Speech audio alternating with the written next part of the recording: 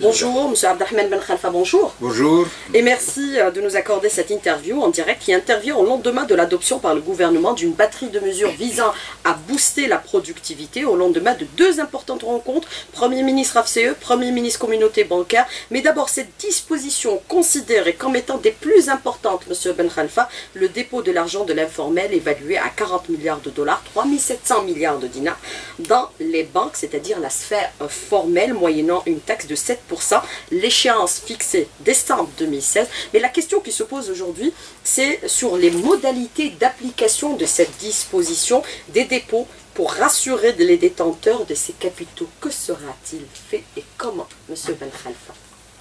Merci, merci pour votre invitation. Merci. Euh, bonjour à vos auditeurs et auditrices. En fait, la loi de finances complémentaire euh, contient trois séries de dispositions, dont la disposition que vous parlez. D'abord, des dispositions concernant une optimisation des ressources et des dépenses budgétaires. Ce sont des dispositions qui rentrent dans des ajustements qu'opèrent tous les pays producteurs euh, de pétrole. Il s'agit de mieux utiliser la dépense publique avec plus de retour sur investissement. Deuxième chose, il y a une série de mesures qui confortent encore l'entreprise et l'investissement. Il y en a au moins une dizaine. Et c'est pour que le processus de diversification de l'économie et de substitution à l'importation se poursuivent avec plus de vigueur. il y a effectivement deux nouvelles dispositions qui, sont des dispositions de régularisation.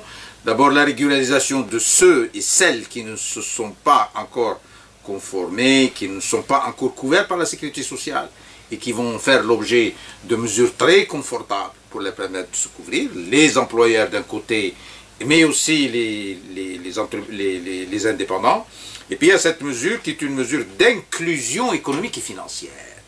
D'inclusion économique et financière qui vise à euh, ouvrir les portes à, tous les acteurs de la sphère réelle qui ont travaillé, qui travaillent, qui ont euh, des, euh, des fonds, qui au lieu de laisser ces fonds thésauriser, les banques leur ouvrent les portes à compter du 15 août, effectivement, parce que les dispositions concrètes sont peut-être d'être prises. Euh, ce sont des capitaux sains, ce sont des capitaux gagnés à la sueur des uns et des autres, mais ce sont des capitaux qui, pour des raisons procédurales ou pour des raisons conjoncturelles, ne, ne circulent pas suffisamment dans la sphère bancaire. Alors, à l'égard de ces capitaux, il y a des mesures de mise à conformité euh, d'abord, mais des mesures surtout d'accueil de ces capitaux, parce que beaucoup euh, euh, ne sont pas concernés par euh, la fiscalisation. Beaucoup sont des capitaux qui euh, ne sont pas nécessairement à fiscaliser et qui viendraient vers les banques. Donc les banques prennent des mesures particulières pour accueillir tout ce public qui, pour des raisons encore une fois procédurales, n'est pas venu aux banques. Mais comment assurer aussi les détenteurs de ces capitaux de les déposer dans les banques? Est-ce qu'il y a des mesures de, pour rassurer aujourd'hui ces détenteurs de capitaux? Puisque certains considèrent que la confiance est rompue entre ces détenteurs de capitaux et les pouvoirs publics. Euh, Monsieur euh, Ben Khalfa. oui, nous sommes dans deux mètres mots euh, dans cette nouvelle ambiance voulue et décidée par le chef de l'État et mise en œuvre sous la conduite du Premier ministre de façon très pragmatique, c'est confiance, optimisation. Optimisation, confiance. Voilà les deux maîtres mots. Optimisation, ça veut dire qu'on dépense tout avec efficience. Et confiance, ça veut dire que les acteurs de l'économie réelle, que les citoyens, que les opérateurs font confiance. Et le pays doit rentrer dans, cette, dans ce cercle vertueux de la confiance. Et donc, euh, trois garanties vis-à-vis de, ces, de ces détenteurs. Une, le pays dispose d'un système bancaire qui peut être à quelques petites lourdeurs bureaucratiques. Mais nous sommes dans la région méditerranéenne le système bancaire le plus sécurisé. Les capitaux euh, propres de nos banques, et la Banque d'Algérie vient de les, de les publier, sont les capitaux propres les plus élevés. Donc il y a une garantie de ce point de vue. Deuxièmement, c'est que sur le plan procédural, nous avons veillé... Euh, conformément aux, directives du chef de l'État et aux instructions du Premier ministre, à ce que ce plan procédural, il n'y ait aucun inconvénient procédural. Les gens viennent, ceux qui ont des comptes versent dans leurs comptes, ceux qui n'ont pas de compte vont se faire ouvrir immédiatement un compte et dans les 48 heures auront une carte bancaire en attendant qu'ils aient une, euh, euh, un chéquier. Et donc sur le plan procédural, euh, il n'y a aucun problème. Et sur le plan fiscal, il n'y a que ceux qui considèrent qu'ils ont à régulariser une situation fiscale qui vont se déclarer euh, au niveau de cette conformité fiscale volontaire. Et donc, euh, d'ailleurs, il y a une relation entre les services des banques et les services fiscaux pour que dès que quelqu'un dépose ses capitaux les, et, paye la petite, euh, la, petite taxe, les services, fiscaux, voilà, les services fiscaux vont envoyer à l'intéressé dans les trois jours qui suivent, ils ont pris note de sa régularisation. Mais dans ces ressources, ce n'est pas tous qui seront soumis aux 7%. Il n'y a que ceux qui s'y soumettent volontairement. Les grossistes, les gens qui ont l'habitude de faire entrer de l'argent, les gens qui ont de l'argent dans leur coffre et qui n'ont pas pu jusqu'à présent ne sont pas, ne sont pas soumis. Il n'y a que les, les, les commerçants, ceux qui étaient dans une situation où ils pensaient être fiscalisés et qui ne sont pas fiscalisés, qui viennent dire nous mettons en œuvre la conformité volontaire fiscale. Et nous avons veillé même à ce que dans chaque grande agence, nous avons 800 agences sur 1500 qui vont être mobilisées, les grandes agences, mais tous sont mobilisés. Mais dans ces 800 à 900 agences, il y a même un conseiller qui va rencontrer ces gens-là dans un espace dédié, avec tout le respect qui est dû à des citoyens qui ont une action, euh, qui ont une activité dans la sphère réelle et qui retournent à la normale, parce que la normale, c'est que l'argent se retrouve dans les banques et ne se retrouve pas toujours. Alors tout se fera en toute discrétion et en toute confidentialité pour assurer ces personnes, pour qu'ils intègrent leur argent dans la sphère formelle. Et dans le respect de la loi. Parce que ce n'est pas parce que les impôts, les douanes, hier on a signé euh, un accord entre douanes et, et, et banques. Ce n'est pas parce que les douanes, les impôts et les banques travaillent ensemble que, le respect de la confidentialité, le secret bancaire est préservé, le secret fiscal est préservé, et donc il, y a, un travail ensemble, mais là, bien entendu, non seulement il y a de la discrétion, mais il y a du respect, et nous avons tenu, nous avons veillé. Je réunis tout à l'heure également les équipes dirigeantes pas simplement les présidents des équipes dirigeantes des banques, pour encore une fois donner une touche de convivialité et de respect du client. Alors justement, par rapport à ces capitaux qui sont dans l'informel, ils sont évalués à pratiquement en dinars à 3700 milliards de dinars, c'est le chiffre qui a été annoncé par le Premier ministre, et euh, l'équivalent de 40 milliards euh, de dollars. Euh, mais certains considèrent que 70% de ces capitaux sont en offshore. Pour les capitaux en offshore, est-ce qu'il y a des mesures concrètes qui ont été prises D'abord, les 3700, c'est un chiffre agrandi. Nous avons un excès euh, nous avons un potentiel à mobiliser qui est entre 1000 et 1300 milliards de dinars.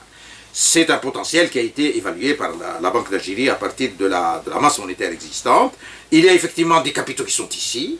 Il y a des Algériens qui ont des capitaux à l'étranger, mais ces Algériens-là disposent de la possibilité de les mettre dans les comptes de vie depuis longtemps. Nous sommes le seul pays avoir plus de 6 à 7 millions de comptes de devises en Algérie, au nom d'Algériens qui sont soit résidents ici, soit résidents à l'étranger. Et donc, sur le plan des devises qui sont à l'étranger, ils continuent à, rentrer normalement. Ils rentrent normalement. Nous avons un potentiel de 2 milliards à 2 milliards et demi de soldes dans les comptes de devises. Cela euh, rentre normalement. La mesure vise les capitaux qui sont euh, ici thésaurisés, qui sont ici pas bancarisés, qui sont pas bancarisés pour différentes raisons, qui encore une fois ont des sources saines, qui sont licites, mais qui pour des raisons procédurales, parce que les gens ont peur du chèque, parce que les gens ont peur de, faire des dossiers, et qui ceux-là sont les bienvenus dans les banques. ça sert, trois, trois choses, ça sert aux intéressés eux-mêmes parce qu'il y a un confort et une sécurité. Il ne faut pas que les gens dorment avec un milliard. Deux, ça, ça, permet de donner, ça permet de faire circuler cet argent dans l'intérêt de l'investissement. Et trois, l'économie a besoin de ces ressources. Il faut qu'il, euh, qu'il, que, que, ces ressources tournent dans la sphère réelle. Mais ça veut dire, par rapport à vos propos, c'est-à-dire que les capitaux en offshore, qui ne sont pas déclarés aujourd'hui, détenus par les Algériens, ne sont pas dans un premier temps concernés par cette disposition Non, non, non les, les capitaux qui sont à l'étranger sont depuis longtemps accueillables, mobilisables dans les comptes de vise en Algérie sur les réglementations, c'est tout.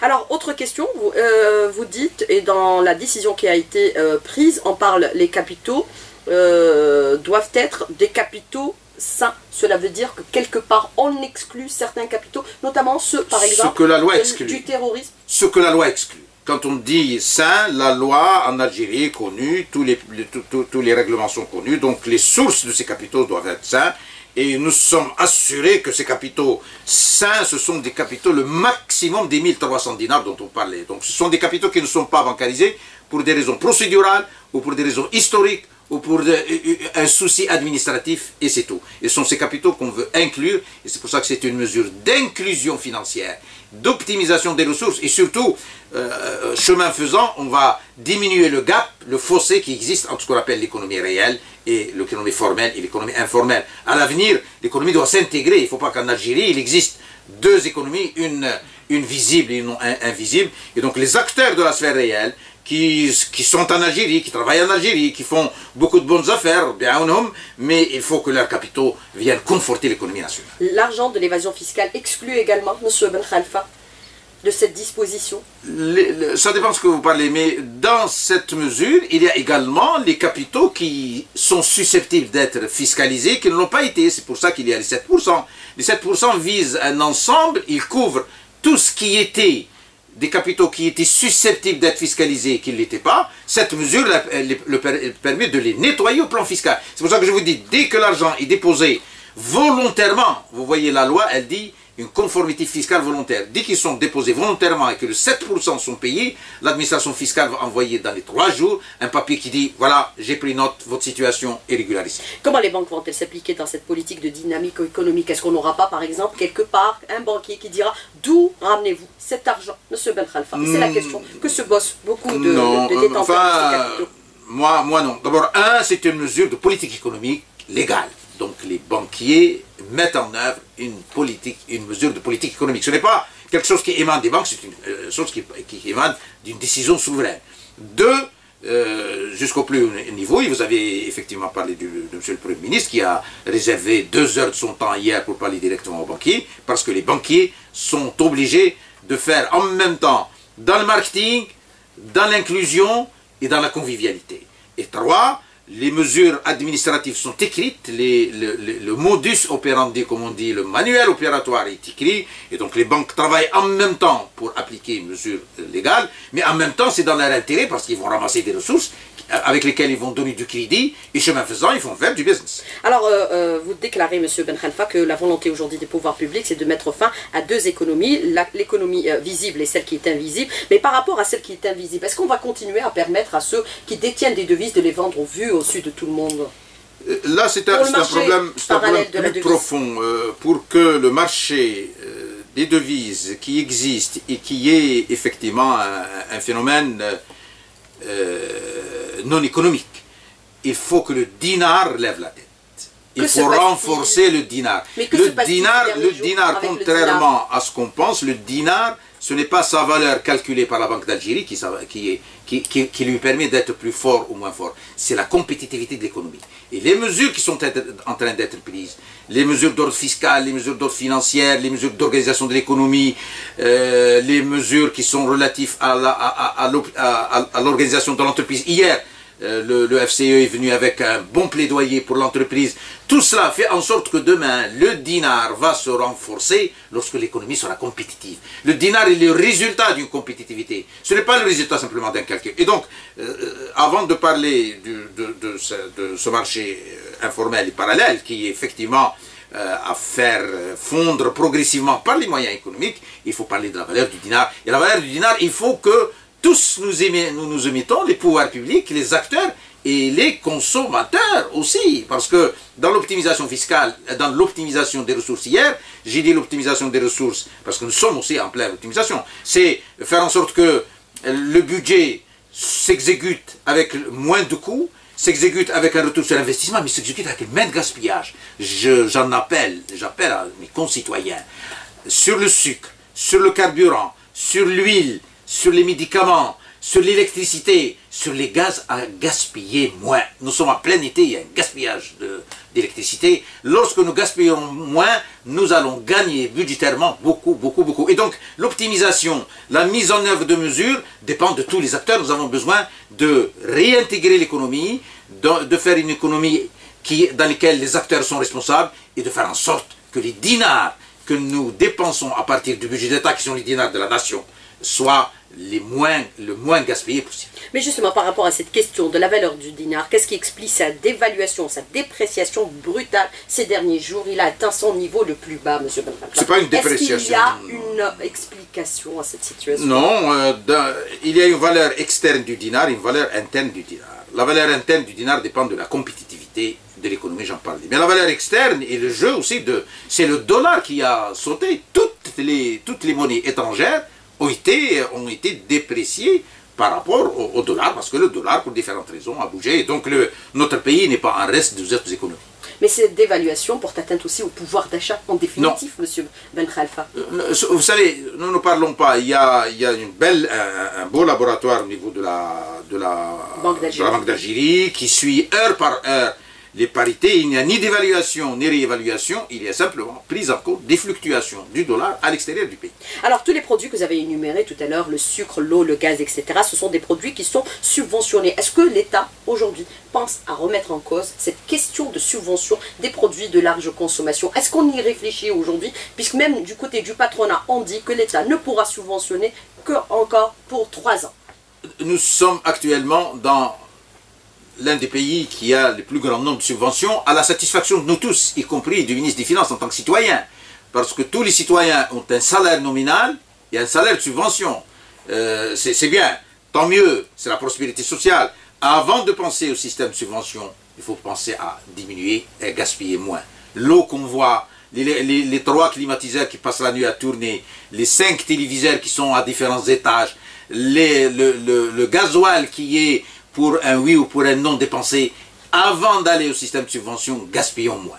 Mais ceux qui ont la possibilité d'avoir trois climatiseurs, eux peuvent en payer aussi 10 et ils ont profité de cette subvention. Est-ce qu'aujourd'hui nous allons la revoir de telle sorte? Est-ce que cette subvention aille aux plus nécessiteux? Et ceux qui le méritent et pas tous Pour le moment, nous optimisons les budgets qui existent et les budgets sont assez consistants. Euh, vous savez que nous avons atteint un budget en 2015 d'à peu près 8 000 milliards de dinars nous passons d'abord par un comportement citoyen avant d'aller à des mesures euh, de révision de subvention. Et donc, nous, avons, nous serons bientôt 40 millions. Si les 40 millions, chacun dans sa sphère, recule et gaspille moins, nous avons euh, le quart de notre budget qui reviendra dans les, euh, dans les caisses de l'État et qui reviendra dans l'intérêt euh, de, toute la population. Alors le Code des marchés publics simplifié pour l'entreprise publique, mais est-ce que ce sont des simplifications réelles aujourd'hui Puisque certains disent que dans la lecture des mesures qui ont été prises, il y a aussi d'autres procédures auxquelles sera confrontée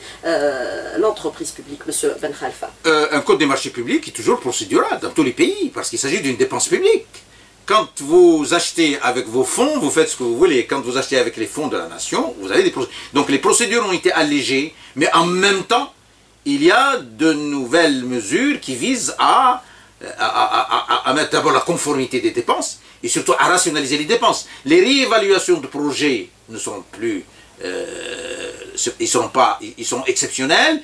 Il faut que les projets soient réalisés dans les délais. Les responsables, les ordonnateurs sont mis devant leurs responsabilités. Donc le Code des marchés publics est un outil de rationalisation de la dépense avec moins de procédures mais pas du tout, du tout, du tout un, code qui vise à diminuer la, la, rigueur avec laquelle on va dépenser. Et donc, euh, c'est un outil en même temps de rigueur, de rationalité, mais aussi de simplification. Alors, la dépénalisation du délit de gestion, est-ce qu'elle est réelle aujourd'hui et effective, puisqu'elle est tributaire aujourd'hui de dépôt de plainte par les organes sociaux? Est-ce qu'elle est réelle, monsieur Ben Khalfa? Certains considèrent qu'entre ce qui existait et ce qui va, il va euh, advenir, ce n'est pas un grand changement. la dépénalisation, je l'ai dit, je continue à le dire, il y a deux niveaux. D'abord, il y a le déclic d'une mesure de souveraineté qui a été édictée par le chef de l'État et qui est dans le code de procédure pénale, c'est que plus de place aux lettres anonymes, plus de place à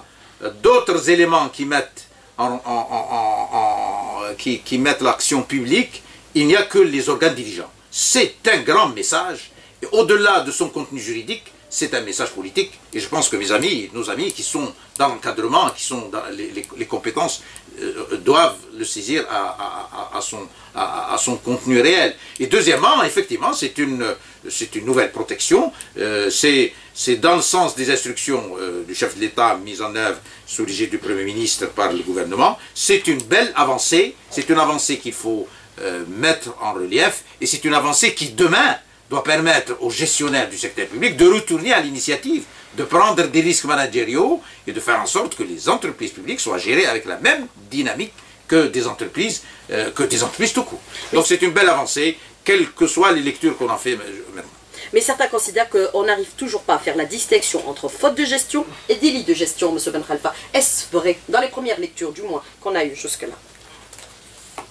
Euh, faute de gestion, euh, si, la, dernière mesure en fait une différence, puisqu'il s'agit, ce sont les organes dirigeants qui vont porter plainte lorsqu'ils considèrent que la faute n'est plus une faute de gestion, mais une faute qui porte préjudice et elle est euh, préjudiciable pour l'entreprise. Et donc la, la, faute de gestion reste à l'intérieur des sphères de l'entreprise qui ont à juger qu'est-ce qui est faute professionnelle et qu'est-ce qui est faute pénale qui va aux, instances judiciaires.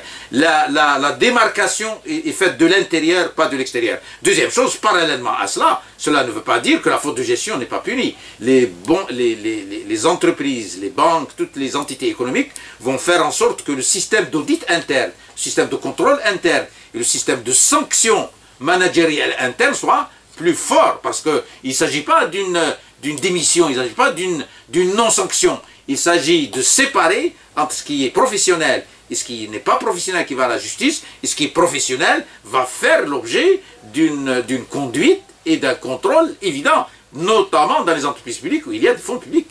Alors, est-ce que le contexte actuel exige de nous de développer une économie efficiente? Nous sommes dans un contexte où le baril a sensiblement baissé de sa valeur et aussi que ça a été répercuté sur les recettes de l'Algérie qui ont baissé et fondu pratiquement de 50%, M. Benralfa. Des chiffres communiqués à l'issue du Conseil des ministres également. Tout à fait. Nous sommes euh, dans la loi de finances euh, est une loi de finances particulière parce qu'elle ouvre la voie à une vision économique euh, rénovée sur la conduite du chef d'État et le, management pragmatique euh, du, Premier ministre, nous passons progressivement du développement à la croissance, parce que la croissance n'a pas relayé suffisamment le développement, nous passons progressivement du budget au marché, et la mesure dont vous parliez est une mesure qui permet au marché financier de se rétablir, et nous passons progressivement d'une prospérité sociale élargie, à une efficience économique plus forte. Voilà les lignes direction à l'avenir, c'est croissance, plus de croissance, plus de marché par rapport au budget et plus d'efficience économique et d'optimisation par rapport à la prospérité sociale. En attendant, sommes-nous dans le rouge, M. Ben Khalfa, ou sommes-nous dans une phase où nous risquons, avec le rythme de dépenses actuel, d'aller vers l'endettement extérieur? Nous n'y sommes pas. Je viens de présider au nom de l'Algérie euh, une, une, réunion des ministres des Finances de l'OPEP, parce que l'Algérie procède l'OPEP. Nous avons échangé euh, nos données, nous sommes l'un des pays producteurs de du pétrole qui, par rapport à son endettement et par rapport à son épargne, est celui qui a la marge de manœuvre la plus forte. Et donc, nous ne sommes pas au rouge, mais nous devons dès maintenant aller à une rigueur. Nous ne sommes pas dans l'austérité, nous ne sommes pas dans la crise, mais nous sommes devant un impératif de mettre l'économie sur la voie de rigueur et de l'efficience dans les deux années à venir. Mais ces mesures sont-elles suffisantes aujourd'hui pour, pour, booster la productivité entre entreprises publiques et privées aujourd'hui, euh, entre mesures fiscales et parafiscales deux Vous avez raison, deux types de mesures. Il y a les mesures de nature fiscale et de nature financière qui sont dans la loi de finances, mais il y a des mesures qui concernent l'organisation de l'économie, le comportement des acteurs, l'organisation des entreprises. Les deux sphères doivent bouger en même temps. Euh, jusqu'à présent, on regarde la sphère financière et fiscale, et j'en parle parce que je suis ministre des Finances, mais parallèlement à cela, mes collaborateurs, les mes, confrères qui sont dans la sphère réelle, l'agriculture, le BTPH, l'industrie, toute cette euh, sphère réelle doit bouger, et doit bouger avec les deux acteurs, les acteurs publics, les acteurs privés et les internationaux qui viennent chez nous. Et donc l'économie dans son ensemble est appelée à s'intégrer et à bouger, y compris l'économie qui était jusqu'à présent une économie un peu cachée et que nous, souhaitons de tous nos voeux à ce que l'économie dans les deux années à venir non seulement se renforce, mais s'intègre et qu'on ait une économie réelle, unique et harmonisée et cohérente. Alors aujourd'hui, il y a baisse de la TAP et de l'IBS pour certaines activités de production, notamment, puisqu'on fait la distinction entre l'importation et la vente en l'État et la production. Est-ce que ça ne va pas porter atteinte aussi au budget de l'État, Monsieur euh, Ben Khalfa, dans le contexte économique actuel? Non, nous avons équilibré les choses. Euh, non, non, d'abord euh, le recul à l'IBS, le recul à la TAP donne de la marge aux entreprises. Et nous pensons, dans les deux années à venir, qu'en diminuant les taux, on va élargir l'assiette.